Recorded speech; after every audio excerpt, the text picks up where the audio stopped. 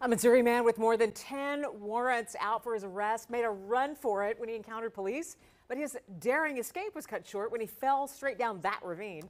Tonight, police and the firefighters who made the rescue early this morning are sharing how risky it was and what led him back to that spot. I'm Lauren Halifax. And I'm John Holt. The suspect expected to survive, but he is in serious condition. It all happened behind some homes near Shirewood Road and St. Louis Avenue in Excelsior Springs. Fox 4's Malik Jackson live at the Excelsior Springs Police Department tonight. Malik, not the ending this suspect intended for sure.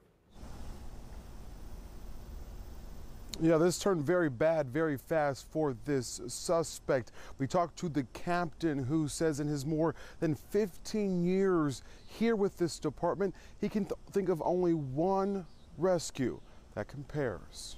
It's very difficult because we have to look at not only are we looking at the patient's safety, but we have to look at the firefighter safety, the, the medics, the EMTs, the police officers as well. But well before Captain Scott Guthrie and his team of rescuers would be needed to make a descent down to the bottom of this ravine, officers were just serving a search warrant a little before 10 p.m. Sunday night.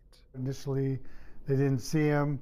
They uh, it was a pretty good sized yard. As they went a little deeper into the yard, subject uh, hopped up. The suspect dashed for the woods made up of heavy brush, rock, and trees. The officers making the decision to suspend their chase. The woods were kind of heavy. It was starting to drop off, and he, he's familiar with the area enough to know that there is a, a pretty deep ravine there. The next morning, the officers went to search the area again. As they were approaching, uh, they heard somebody uh, kind of moaning slash yelling for help. We're at the top of this ravine where this suspect fell nearly 100 feet right here to the bottom. He was down there for nearly 10 hours. With his condition unknown and an incoming storm, rescuers were working against the clock. And then the board was placed into the Stokes basket. And then the patient was secured on the backboard. The rescue risky. In total, six people scaled down using rope and eventually a pulley system to the bottom of this ravine. Uh, we had one, we had the victim strapped into here, and then we had, I was on the head of the Stokes basket. We had two here, two there, and one at the back. In just one hour, this team made it and was able to bring this suspect to safety.